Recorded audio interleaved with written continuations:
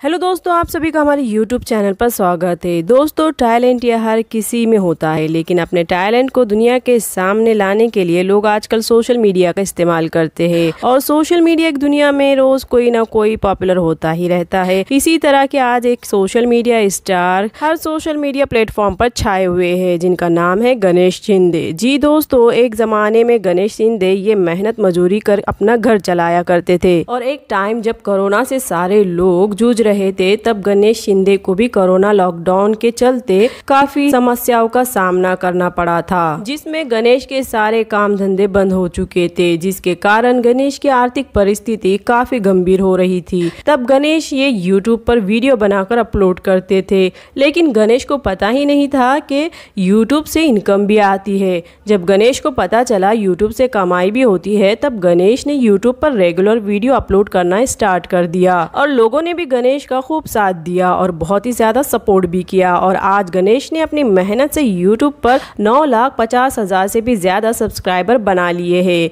एक वक्त गणेश का ऐसा भी था कि उनके बीवी की प्रेगनेंसी के वक्त, उनकी डिलीवरी के वक्त के लिए उन्हें पैसा भी नहीं था। लेकिन गणेश को अपने सोशल मीडिया से सब कुछ मिला, जो उनके सपने थे। लेकिन दोस्तों, इन सब के पीछे गणेश की मेहनत है, जिसके कारण गणेश की ज़िंदगी ही बदल गई है। यूट्यूब की कमाई से गणेश ने अपना होम सोइट होम होम का सपना पूरा कर दिया है। जी हाँ दोस्तों, गणेश ने अपने सोशल मीडिया की कमाई से अपने लिए घर बनाया और गणेश इससे पहले पत्रों के शेड वाले घर में रहते थे। कुछ दिन पहले ही गणेश ने अपने सोशल मीडिया अकाउंट पर अपने यूट्यूब चैनल पर अपने फैंस को अपने न्यू घर की फ़ोटो शेयर करते हुए, जी हाँ दोस्तों, गणेश ने अपनी सोशल मीडिया की कमाई से अपने लिए नया घर बनाया है, जिससे वो बहुत ही ज़्यादा खुश है। गणेश इससे पहले पत्रों के शेड वाले घर में रहा करते थे। कुछ दिनों पहले ही गणेश ने अपने अपने न्यू घर की फ़ोटोज़ अपने फैंस के साथ में शेयर की, जैसा कि आप लोग वीडियो में देख ही सकते हो। गणेश अपने न्यू घर से काफ़ी खुश है। दोस्तों, क्या है आपकी राय गणेश के न्यू घर को लेकर? और कमेंट में हमें ज़रूर बताइएगा आपकी राय। और हमारी वीडियो पसंद आए तो लाइक, शेयर ज़रूर करें। और हाँ दोस्तों, हमारे चैनल को सब्सक्राइब करना ना भूले। धन्यवाद।